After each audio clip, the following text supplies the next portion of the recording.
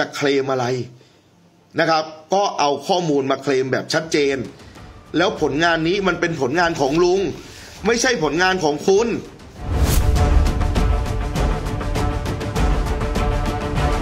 ผมต้องการเอาภูเก็ตไข่มุกในใจผม และไข่มุกแห่งอันดามัน ให้เป็นไข่มุกของโลก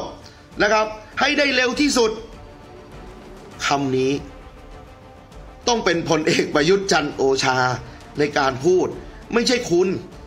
เรียกได้ว่ากลายเป็นประเด็นร้อนในโลกออนไลน์ทันทีครับคุณผู้ชมครับ หลังจากที่นายพิธาลิ้มเจริญรัตน์แคนดิเดตนายกรัฐมนตรี หัวหน้าพรรคก้าวไกล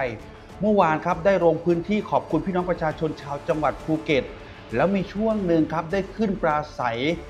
กล่าวว่าเป้าหมายหนึ่งที่เร่งด่วนมาก ตนต้องการเอาภูเก็ต ไข่มุกในใจตน และไข่มุกอันดามันให้เป็นไข่มุกของโลกให้เร็วที่สุด ในวันที่ 21 มิถุนายน กรุงปารีส ประเทศฝรั่งเศส จะมีการตัดสินใจว่าจะใช้เมืองไหนจัดงาน World Expo ประเทศไทยส่งภูเก็ตเข้าประกวด ล่าสุดครับผู้ชมครับ ดีเจเอ๋ ได้ออกมาอัดคลิปฝากถึงนายพิธาว่าที่นายกสายเคลม เคลมผลงานภูเก็ตบิ๊กตู่ดันเป็นเจ้าภาพ World Expo 2028 แนะให้ไปเปิดบริษัทประกันภัยเคมไวเหลือเกิน ไปฟังจากคลิปนี้กันครับ สวัสดีท่านนายกสายเคลมนะครับ มาไวเคลมไวชั่วโมงนี้ก็คงเป็นท่านนี่แหละครับ เมื่อวานนี้ไปภูเก็ต เห็นพูดเรื่องงานเอ็กซ์โปภูเก็ตนะครับปี 2028 ไม่ได้จัดงาน World Expo นะครับ อย่าเข้าใจผิด เขาจะจัดงาน Expo วาระพิเศษ หรือที่เรียกว่า Specialized Expo ครับ ไม่ใช่ World Expo เพราะฉะนั้นจะให้ข้อมูลก็ให้มันถูกๆหน่อย จะเคลมอะไรทั้งทีก็เคลมให้มันถูกๆหน่อย ข้อมูลการบ้านทำให้ดีครับนะครับ Specialized Expo นะครับคืองานมหากรรมนานาชาตินะครับ ระดับรองลงจากงาน World Expo นะครับ และก็มีหัวข้อในการจัดงานที่ชัดเจน มีขนาดที่เล็กกว่า และก็ระยะการจัดงานที่สั้นกว่า World Expo นะครับ และก็มีเงื่อนไข เงื่อนไขก็คือจะต้องใช้สิ่งที่มีอยู่ หรือสิ่งที่มีแผนจะทำอยู่แล้วนะครับ เป็นพื้นที่ในการจัดงาน ซึ่งภูเก็ตตอบโจทย์เรื่องนี้เป็นอย่างดีนะครับ เพราะภูเก็ตมีแผนที่จะยกระดับนะครับ จังหวัดเป็นเมืองท่องเที่ยวนะครับ เชิงสุขภาพนะครับ ระดับโลก โดยนะครับภูเก็ตจะจัดให้มีศูนย์บริการทางการแพทย์ครบวงจร มาตรฐานนานาชาติ และมีแผนส่งเสริมการท่องเที่ยวเชิงธุรกิจ ดังนั้นเมื่อวันที่ 16 พฤศจิกายน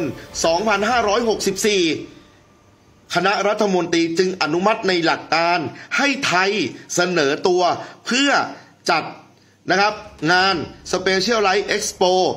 2028 ที่ภูเก็ต หลังจากนั้นเมื่อวันที่ 4 มกราคม 2565 คณะรัฐมนตรีอนุมัติกรอบวงเงิน 4,180 ล้านบาท ไม่ใช่ 5,000 กว่าล้านที่คุณกล่าวอ้าง ข้อมูลมันผิดนะครับ เขาใช้แค่ 4,180 ล้านในการจัดงาน เพราะฉะนั้นจะเคลมอะไรนะครับ ก็เอาข้อมูลมาเคลมแบบชัดเจน แล้วผลงานนี้มันเป็นผลงานของลุง ไม่ใช่ผลงานของคุณนะครับ และถ้าคุณนะครับ พูดว่าผมต้องการเอาภูเก็ตไข่มุกในใจผม และไข่มุกแห่งอันดามัน ให้เป็นไข่มุกของโลก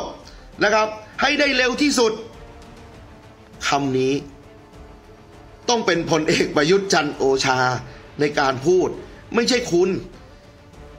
แต่โครงการมันมาทำถึงขนาดนี้แล้วนะครับ และถ้าคุณได้มีโอกาสเป็นนายกรัฐมนตรี ก็คุณก็แค่ทำต่อ เท่านั้นเองฮะ อย่าเคลมว่าเป็นผลงานของคุณ เป็นผลงานของลุงเนาะฝากไว้ด้วยนะครับ ท่านนายกสายเคลมน่าไปเปิดบริษัทประกันนะเนี่ย เคลมไวเหลือเกิน